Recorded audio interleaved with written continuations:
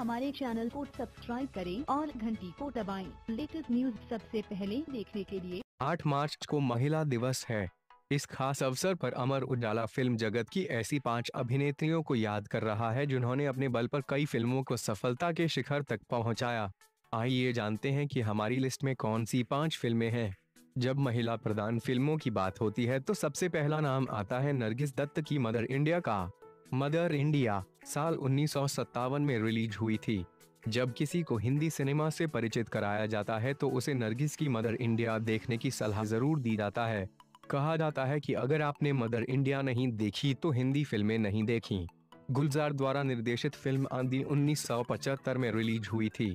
यह एक विवादित फ़िल्म थी। इस पर विवादों की ऐसी आंधी उठी कि तत्कालीन प्रधानमंत्री इंदिरा गांधी के आदेश पर फ़िल्म के प्रदर्शन पर बैन लगा दिया गया था। कथित रूप से गांधी के जीवन पर आधारित फ़िल्म की नायिका सुचित्रा सेन का पूरा गेटअप उनसे प्रेरित था।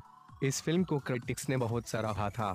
उन्नीस सौ तिरानवे में आई राजकुमार संतोषी की फ़िल्म दामिनी में मीनाक्षी शेषाद्री ने लीड रोल निभाया था। दामिनी एक ऐसी महिला की कहानी थी जो अन्याय के खिलाफ लड़ती है। और इंसाफ के लिए अपने परिवार के भी खिलाफ हो जाती है। इस फ़िल्म में मीनाक्षी शेषाद्री ने ज़बरदस्त अभिनय किया था। इसी के लिए उन्हें फ़िल्म फेयर का बेस्ट एक्ट्रेस नॉमिनेशन मिला था। राजकुमार गुप्ता द्वारा निर्देशित No One Killed Jessica film सनसनी खे जेसिका लाल हत्याकांड पर आधारित थी। सबरीना और मीरा गैटी की भूमिकाओं में विद्या बालन और रानी मुखर्जी ने ज़बरदस्त अभिनय किया था। उनसे बेहतरीन शाहद ही दूसरा कोई कलाकार एक्टिंग कर सकता था। इन दोनों एक्ट्रेसेस ने बेहतरीन परफॉर्मेंस दी थी। उस साल की यह कामयाब फ़िल्मों में से थी। सुजॉय घोष द्वारा निर्देशित फ़िल्म कहानी में विद्या बालन ने मुख्य रोल निभाया था।